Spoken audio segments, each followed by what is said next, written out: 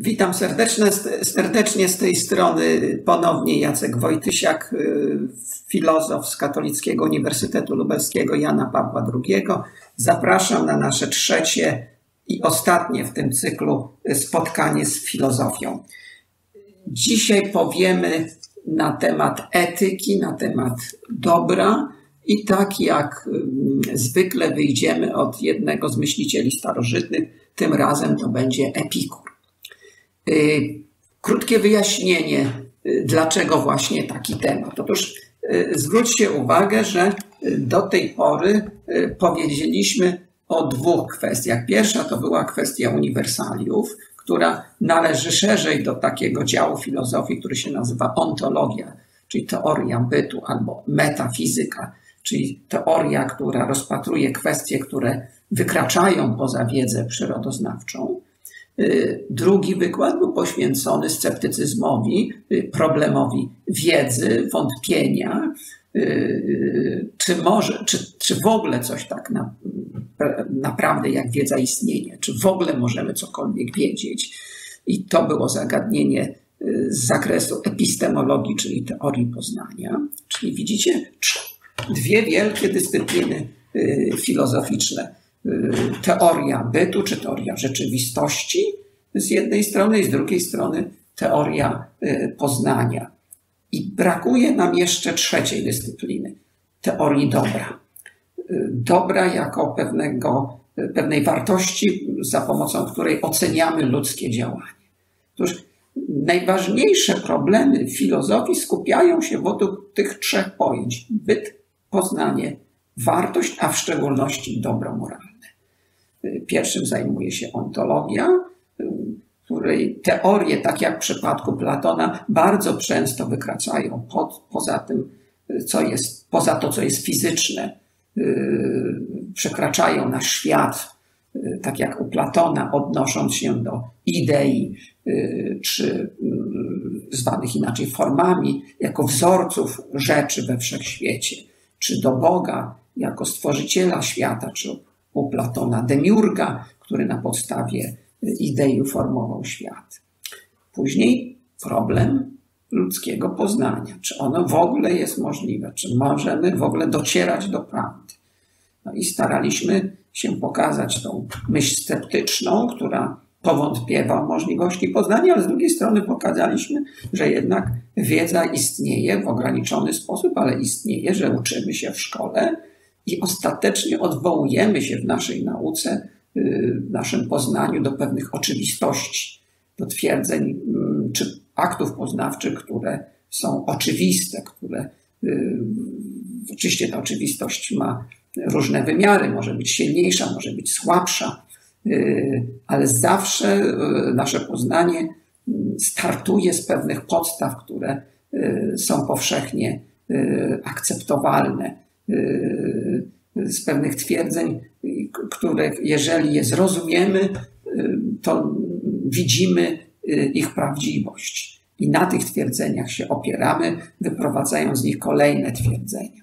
Każdy rodzaj poznania ma swoje oczywistości, od których y, startuje i które są taką bazą, taki, takim fundamentem, na którym wznosimy gmach poznania. Oczywiście ten gmach Poznania nieraz remontujemy, poprawiamy, y, wymieniamy cegły, ale jednak do jakiejś bazy zawsze musimy się odwołać. No i dzisiaj ostatnia sprawa, sprawa naszego życia, sprawa praktyczna. Y, to już nie będą kwestie teoretyczne struktury rzeczywistości czy sposobu poznawania, czy możliwości poznawania świata.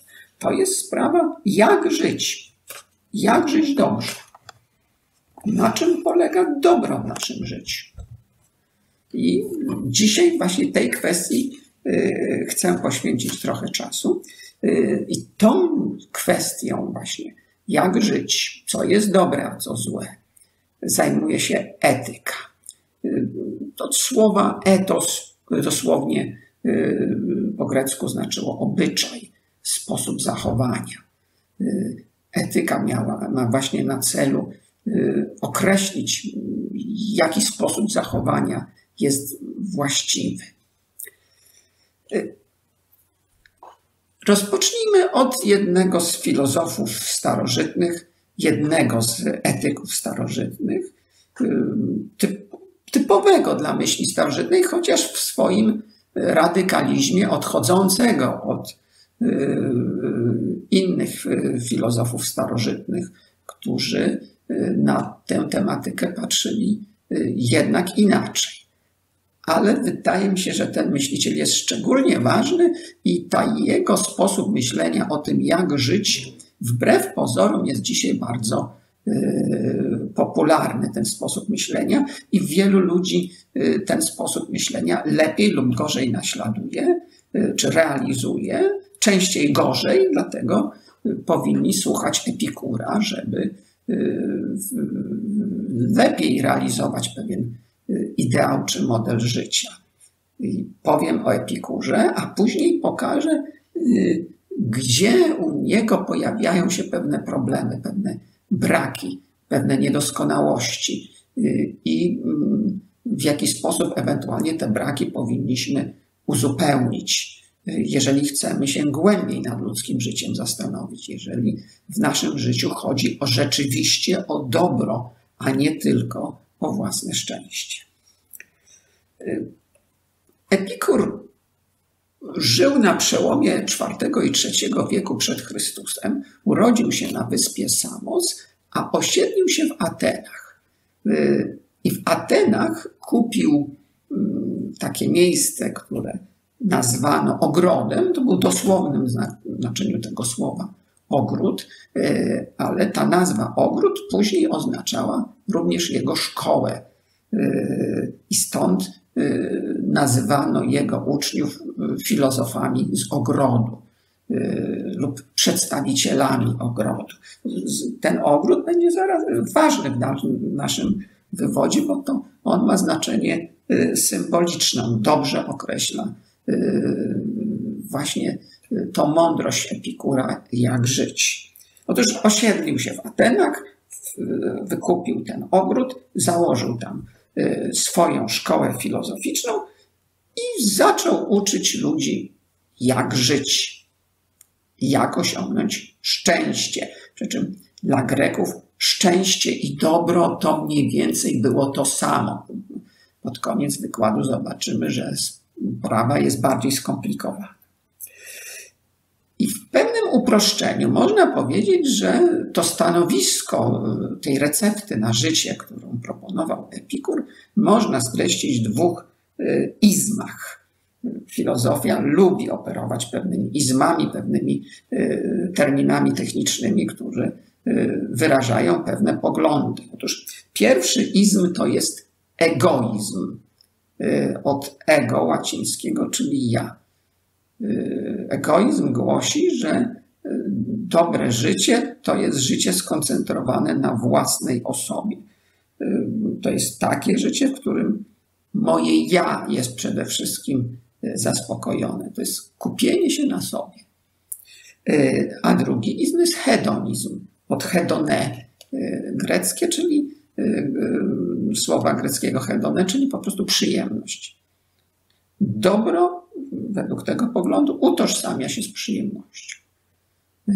Ten żyje dobrze, kto żyje przyjemnie. Powinniśmy się więc skupić na sobie, egoizm, a to skupienie na sobie powinno polegać na tym, że powinniśmy zaspokajać nasze potrzeby, powinniśmy żyć przyjemnie, osiągać e, przyjemności. No, od razu domyślam się, włącza się protest, jakie to jest nieszlachetne, jakie to jest nieeleganckie, kto jest właśnie egoistyczny. To słowo egoizm i hedonizm mają raczej odcień pejoratywny, negatywny w potocznym yy, obiegu. Natomiast dla Epikura nie. Otóż yy, on uważał, że mówi coś bardzo sensownego i, i, i szlachetnego. Yy, zwróćmy uwagę, tak między nami mówiąc, większość ludzi są, większość ludzi jest egoistami. i hedonistami. Większość ludzi tak naprawdę skupia się na sobie i dąży do własnej przyjemności. Mało ludzi skupia się na innym i dąży dla, do, do dobra innych. No tak między nami mówiąc, taka jest prawda. Po drugie, na usprawiedliwienie Epikura można powiedzieć nie tylko, że większość jest taka, ale że, że po prostu nasza skłonność do mm, osiągania przyjemności, unikania bólu jest naszą naturalną skłonnością. No, jesteśmy częścią świata przyrody y, i instynkt y, przyjemności czy osiągania przyjemności, unikania bólu, y, powiązany z, z, z instynktem tak naprawdę najczęściej, chociaż no nie zawsze, ale zasadniczo powiązany z instynktem samozachowawczym, no jest naturalnym naszym instynktem, z naszą naturalną skłonnością. Jest trudno winić ludzi, że się właśnie w ten sposób y, zachowują. Po trzecie, y, powiedzmy sobie jeszcze jedną ważną rzecz tutaj. Y, takie stanowisko, można powiedzieć, jest uczciwe.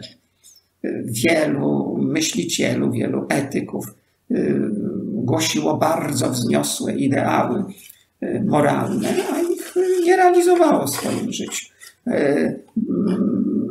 Albo mm, nieliczni ludzie realizowali te wzniosłe ideały moralne. Niekiedy pod płaszczykiem tych wzniosłych ideałów moralnych, albo mm, niekoniecznie pod płaszczykiem w wyniku jakichś innych e, czynników, no, czynili wiele zła. E, czasami chcieli, żeby wszyscy byli dobrzy, prawda? i siłą zmuszali ludzi do dobra, co przynosiło skutek odwrotny do zamierzonego. Więc można powiedzieć, że ta teoria Epikura jest teorią bardzo rozsądną, bardzo realistyczną i ona we właściwy sposób określa to, jak powinniśmy żyć. I coś jeszcze więcej powiem na obronę Epikura. No, to tylko żeśmy na powierzchni jego y, filozofii się poruszali, tylko żeśmy y, tak jakby y, troszeczkę liznęli z jego filozofii, jakbyśmy tak ciut więcej dowiedzieli się o jego filozofii, to coraz bardziej prawdopodobnie bylibyśmy do tej myśli życzliwie ustosunkowani. Co więcej, odkrylibyśmy, że Epikur miał dużo ciekawych życiowych porad. Otóż y, Epikur odróżniał dwa rodzaje przyjemności: przyjemność negatywną i przyjemność pozytywną. Y, przyjemność pozytywna polega na doznawaniu, właśnie doznaję jakiejś radości, prawda? jem y, czekoladę, jest mi tak właśnie przyjemnie, słodko, a przyjemność negatywna po prostu polega na braku bólu. Po prostu dobrze się czuję w tym sensie, że mnie nic nie boli. I, i fizycznie, i psychicznie, że nie doskwiera mi, jak to Epikur by powiedział, żaden lęk. Bo wyobraźmy sobie, że budzę się z bólem głowy albo budzę się z jakimiś ciemnymi myślami. Jedno i drugie to nas bardzo męczy. Otóż Epikur uważał, że ważniejsza jest przyjemność negatywna niż pozytywna. Powinniśmy skupić się na przyjemności negatywnej. I na tym polega jego mądrość. W tym sensie skupić na przyjemności negatywnej, tym, czyli starać się tak żyć, żeby nie było w naszym życiu bólu fizycznego i lęku. Czyli bólu fizycznego i bólu psychicznego, mówiąc najprościej. I wtedy będziemy szczęśliwi. Owszem, przyjemności pozytywne są potrzebne, przydatne, ale y, bywają niebezpieczne. Dlaczego? Dlatego Epikur mówił, żeby się skupiać na y, przyjemności negatywnej, dlatego że y, przyjemności pozytywne grożą nam eskalacją. I to w naszym życiu widać, w naszej kulturze widać. I często w życiu ludzi młodych, niedojrzałych jest coś takiego jak zjawisko eskalacji przyjemności. Pewien rodzaj przyjemności się pojawia i, I w momencie, kiedy przyjemność się kończy, no bo no niestety taka jest natura y, każdego rodzaju przyjemności, że się kończy po prostu, że jest w jakimś okresie czasu. Y, bodźce, które działają, wywołują przyjemne odczucia, przestają działać. No i po, pojawia się znudzenie, pojawia się zmęczenie. Więc tego niektórzy mówią, jeszcze trzeba coś dołożyć, nowy bodziec, silniejszy bodziec. No i, znowu jest ten stan przyjemności, ale znowu jest nudzenie, zmęczenie, więc dokłada się jeszcze większy i efektem jest uzależnienie. Y, efektem jest duża podatność właśnie na y, ból y, psychiczny, no, związany z tym, że, że, że, że zawsze pojawia się stan, że ta przyjemność się kończy i wtedy ten człowiek zamiast odczuwać właśnie tą przyjemność negatywną, że go nic nie boli, coś mu doskwiera. A to y, pragnie znowu tej nowej przyjemności. A to po prostu boli go głowa, a to jest przemęczony y, dawką tych bodźców i tak dalej, i tak dalej. To jest dzisiaj zjawisko bardzo powszechne i przed tym Epikur przestrzegał. Po prostu on przestrzegał przed eskalacją przyjemności pozytywnych. A zwłaszcza mówił, że powinniśmy unikać przyjemności niekoniecznych i przyjemności nienaturalnych. Są przyjemności niekonieczne, które, bez których można żyć i być zadowolonym. Yy, I są przyjemne, a najbardziej niebezpieczne są przyjemności nienaturalne, które mm, nie są typowe dla yy, naszego organizmu. One w sposób sztuczny zostały nam yy, zaaplikowane na pewno e, Epikur byłby bardzo krytycznie nastawiony wobec używek e, narkotyków, e, różnych środków, które mają w nas wywoływać stany euforii. To prowadzi donikąd, to nie prowadzi do szczęścia, to prowadzi do nieszczęścia. I mówi, mówię to Wam, teraz powtarzam to w imieniu Epikura. Epikur tak by powiedział, mówię to wam jako egoista. Jestem egoistą i przestrzegam e, was, jeśli chcecie być egoistami, jeśli chcecie myśleć o własnym dobru, jeśli chcecie myśleć o e, przyjemności, nie eskalujcie e, przyjemności. Unikajcie przyjemności niepotrzebnych, niekoniecznych, nienaturalnych, bo wpadniecie w ból, w lęk, frustrację. Ograniczcie się, na ile to jest możliwe, do przyjemności negatywnej, do braku bólu i braku lęku. I to Wam wystarczy, będziecie szczęśliwi. To już, jak widzicie, wymaga trochę pracy, wymaga pewnego wysiłku. No, no w dzisiejszych czasach, bo to jakby jest naturalna tendencja, ludzie właśnie wpadają w tą spiralę przyjemności, dlatego żeby tego uniknąć, muszą dokonać pewnego wysiłku. Jak widać, egoista musi od siebie wymagać. Egoista, jak chce być dobrym egoistą, czy robi coś dobrego dla siebie i, i chce być człowiekiem przyjemności, musi umieć przyjemności ograniczać i musi dokonywać pewnego wysiłku, musi też nabyć pewnego charakteru, żeby nie ulec uzależnieniom, które y, nas po prostu y, psychicznie zniszczą. Y, stąd Epikur bardzo podkreślał, że jego recepty mają służyć wyzwoleniu nas z, z, tych nieszczęść, przede wszystkim psychicznych. Stąd on mówił, że musimy się wyzwolić z lęku, pokazywał, jak wyzwolić się z lęku. W jego czasach były trzy lęki podstawowe: przed bogami, przed śmiercią i przed y, stratą, stratą przyjemności, stratą jakiegoś dobra. Właściwie to do dzisiaj się jakoś, jakoś powtarza.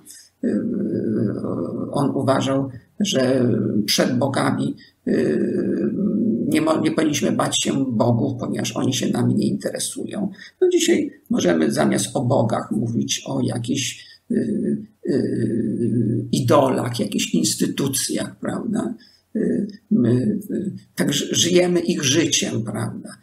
myślimy, co by o nas powiedzieli, oni się nas kompletnie nam nie interesują. Na przykład są tacy ludzie, co ciągle interesują się życiem gwiazd show biznesu, porównują swoje życie do, do życia tych gwiazd, naśladują je.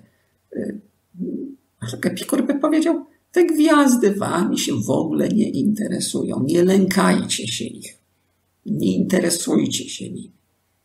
No drugi lęk to jest lęk przed śmiercią. Być może młodych ludzi to nie dotyczy, to później ten lęk przychodzi, chociaż to różnie bywa, ale on to, to ładnie określał, słynna jego maksyma, że śmierci nie należy się bać, bo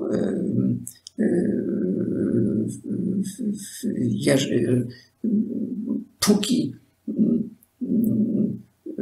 że do, do momentu śmierci, no to po prostu śmierci nie ma. No to nie można się bać tego, co nie istnieje.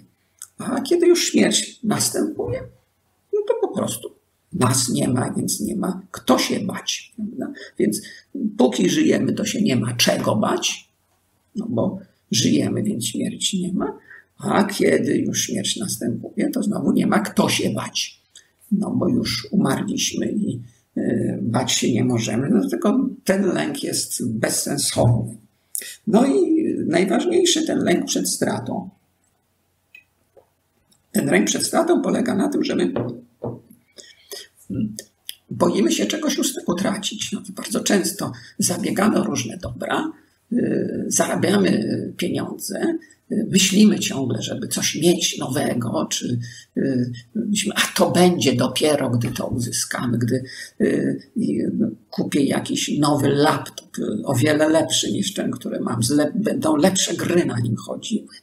Ach, ach, to będzie dopiero. Prawda? Potem się okazuje, że udaje się to osiągnąć i wtedy mm, y, po paru dniach się okazuje, a gdyby jeszcze był lepszy, jeszcze tutaj coś by się zainstalowało, to jeszcze inna gra mi chodziło, bo ta to już mi się znudziła, więc teraz kolejną y, będzie, będzie szukał. Więc y, to jest coś w rodzaju właśnie to, co już mówiłem, eskalacji, ale, ale albo potem już ta sytuacja, żeby tego nie stracić, prawda?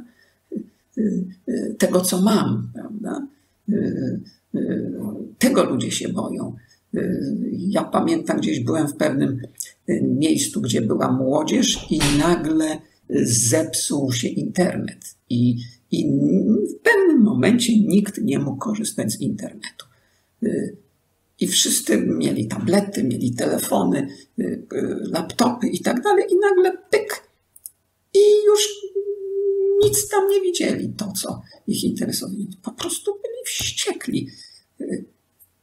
Jakby świat się załamał. Życie mu się skończyło. Sens życia w ogóle całkowicie. Największe nieszczęście. Oni wiedzieli, co z sobą zrobić. Dostali ataków wściekłości. Krzyczeli, wrzeszczeli, prawda? A wystarczyło zobaczyć, że obok jest koleżanka, kolega. Mamy szansę porozmawiać ze sobą. Wystarczyło zobaczyć, że nie boli nas głowa. Y, cieszyć się tą chwilą. Tak właśnie jak mówił Epikur, ciesz się chwilą. Wystarczyło na przykład teraz y, pobawić się w coś, jakiś dowcip opowiedzieć, pośmiać się. Nie, była na odwrót, było y, ogromne nieszczęście. No właśnie, i coś takiego ludzi jest lęk przed stratą. Co by było, gdybyśmy nagle stracili to, co mamy? Ludzie byliby nieszczęśliwi. A Epikur właśnie mówi, mądry egoista, mądry hedonista nie boi się nic utracić, bo jak to utraci, to i tak będzie szczęśliwy, bo jego szczęściem jest brak bólu i brak lęku. I każda sytuacja do szczęścia będzie e, przydatna. Oczywiście im lepiej w tym wyćwiczony, tym lepiej nawet w więzieniu sobie poradzi. Byleby nikt mu nie zadawał bólu a, i cierpienia psychicznego, a nawet to on umie się od tego zdystansować, umie zająć y, swoją przyjemnością po prostu. Y, taka była recepta Epikura. I, I teraz wróćmy do ogrodu. No dlaczego ogród?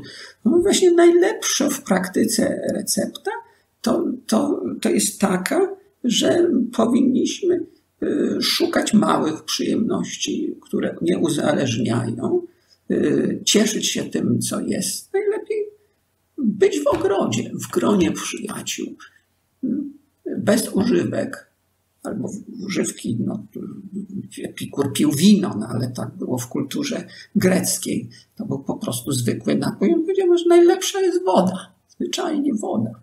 Myśmy e, dzisiaj powiedzieli, żeby nie czuć pragnienia suchości. Być z przyjaciółmi, rozmawiać, opowiadać dowcipy, e, patrzeć na piękny ogród, piękne kwiaty, piękne drzewa, piękne krzewy. E, I to wystarczy do szczęścia. Nic więcej nam nie jest potrzebne, tylko właśnie to. I być tam w miłym gronie przyjaciół, być zadowolonym. Zwracam uwagę, że najwyższymi przyjemnościami, które nie uzależniają, ale dają nam najwięcej radości, to są przyjemności duchowe. Na przykład przyjemność z lektury y, dobrej książki, y, przyjemność kontemplacji przyrody Y, przyjemność na przykład recytowania powieści, y, poezji y, we wspólnym gronie, gronie przyjaciół.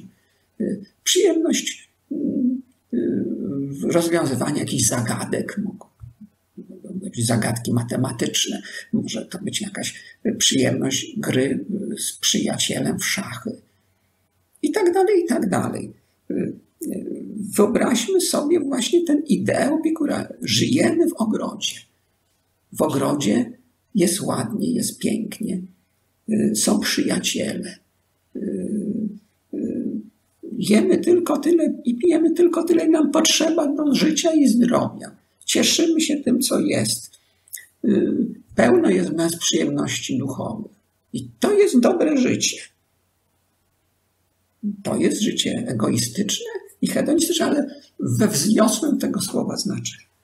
I zwróćcie uwagę, że znaczna część ludzi do tego ideału jakoś się zbliża. Powiedziałem, że większość ludzi to są egoiści i hedoniści, tylko że mm, nieduży procent z nich y, realizuje to mądrze. Epikor pokazywał, żeby jak to realizować właśnie mądrze, właściwie.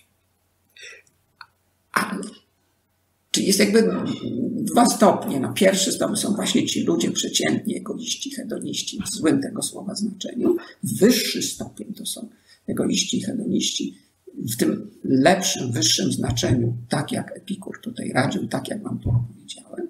Ale jest jeszcze trzeci, wyższy stopień życia, na który chciałem wam zwrócić uwagę. I chciałem wam powiedzieć, że szczęście i dobro to nie jest to samo y, Powiem to krótko, no bo już czas zbliża się do końca, ale no, proszę byście sobie postawili dwa eksperymenty, przeprowadzili dwa eksperymenty myślowe i zobaczyli, że ta etyka epikura jest niewystarczająca, że tutaj czegoś brakuje i że szczęście własne jest niewystarczające, y, że egoizm nie jest tym właściwym stanowiskiem. Wyobraźcie sobie, że jesteście w ogrodzie epikura i wyobraźcie sobie, Y, że y, jest wam tam przyjemnie i usługują wam niewolnicy. I wyobraźcie, że nagle jest deszcz, ulewa i chowacie się do altany. Altana jest mała, więc niewolnicy muszą być na środku ogrodu zmoczeni, przeziębieni narażani może nawet na wyładowania y, atmosferyczne. No, niby wszystko w porządku, dążycie do własnego szczęścia, jesteście w gronie przyjaciół, przyjaciół podziwiacie piękno y, przyrody, y, rozwiązujecie zagadki językowe czy szachowe, nie upijacie się, nie eskalujecie przyjemności, wszystko jest w porządku, ale coś tu jest nie tak coś tu jest nie tak. Podobno już właśnie epikurejczycy, jedni z pierwszych dostrzegali, że niewolnicy powinni mieć swoje prawa, prawda? Oni już byli przyjmowani do ogrodu y, jako pełnoprawni uczestnicy ogrodu, a nie tylko jako służący w tym ogrodzie. Widzicie, że jest coś nie tak w niewolnictwie. że coś jest nie tak, gdy niesprawiedliwie płacimy komuś za coś, ale przecież i tak dążymy do przyjemności własnej i egoizmu. Dlatego to nie wystarczy.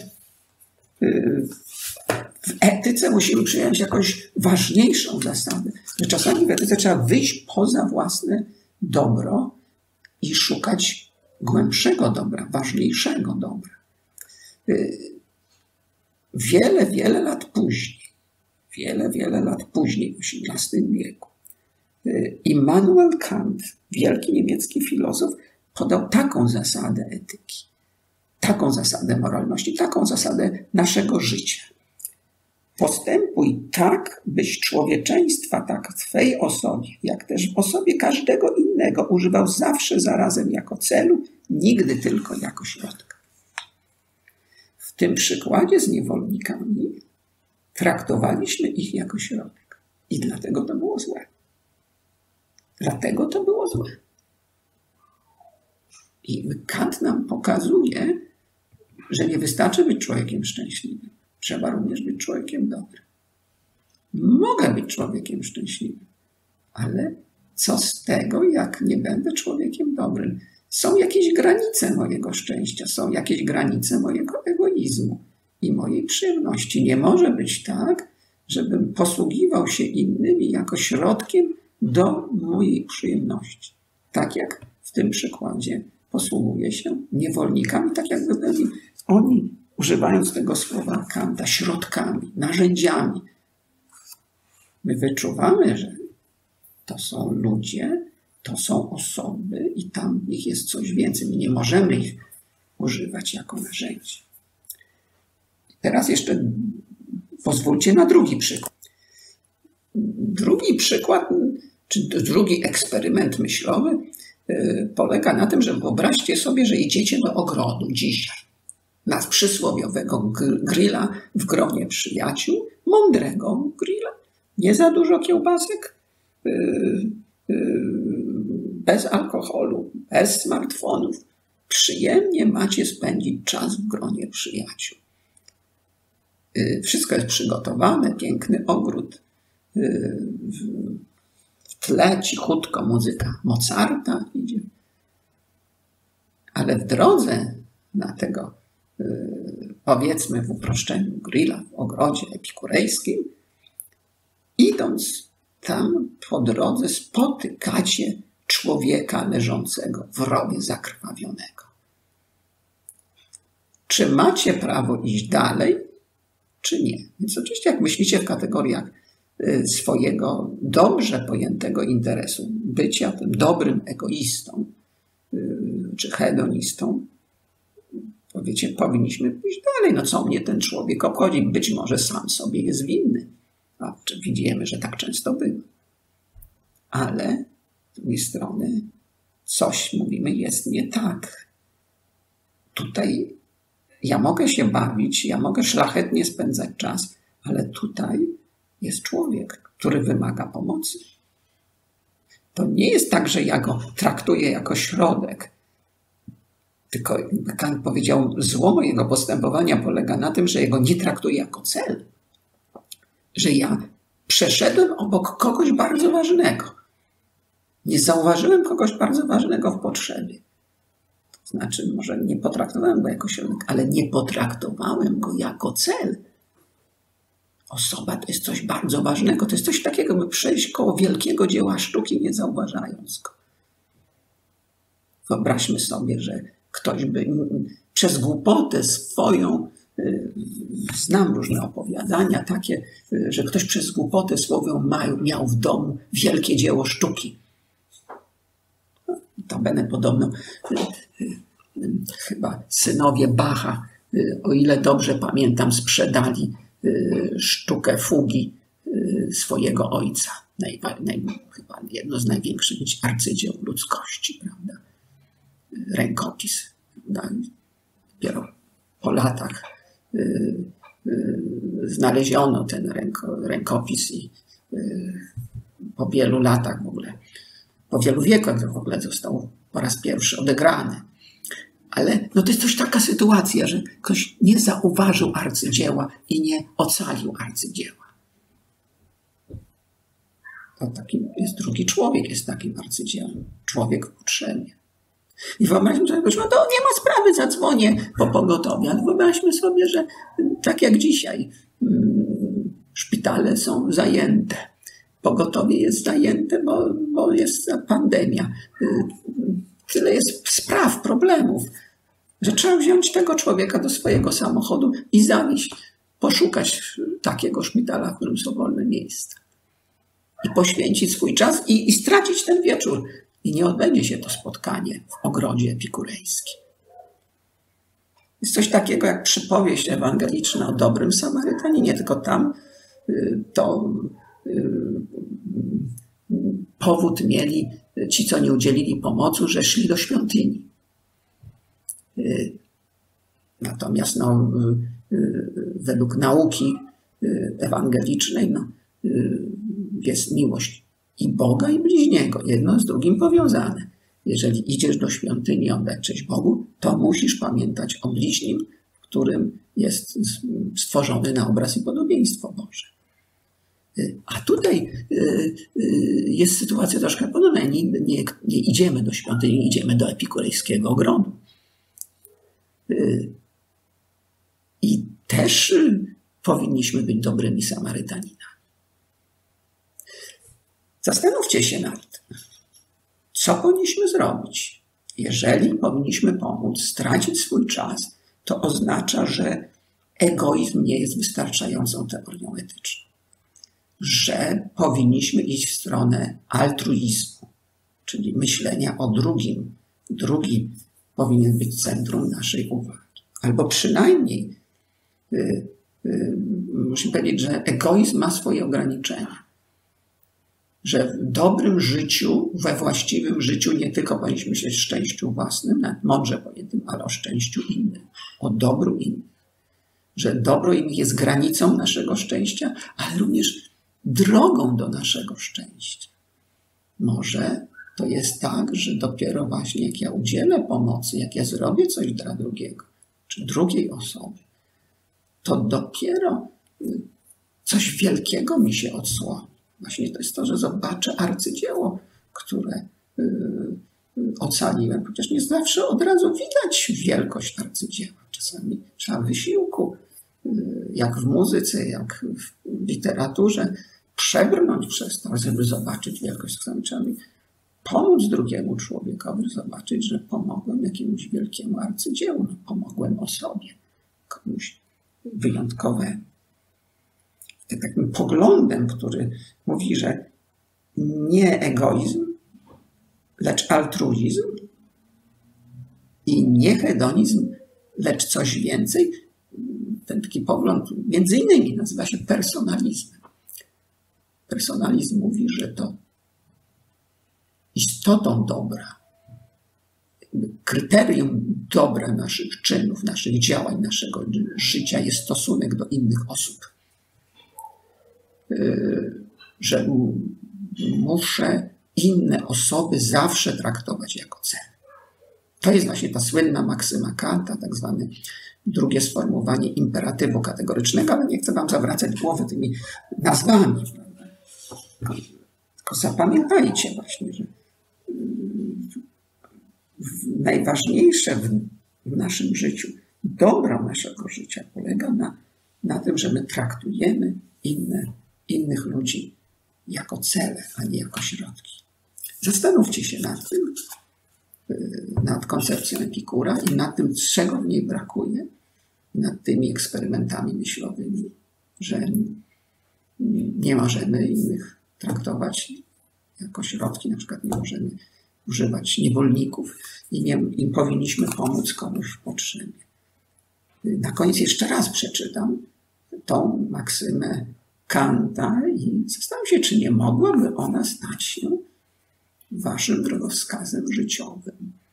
Ta maksyma jest w różnych postaciach, w różnych y, filozofiach, w różnych kulturach, w różnych tekstach się pojawia. To, co powiedziałam wam o y, dobrym Samarytaninie, no to właśnie to jest ta maksyma jakoś. Y, tylko w opowieści pewnej pokazana. Jak widzicie, to jest uniwersalna maksyma. Y, szczególnie ważna.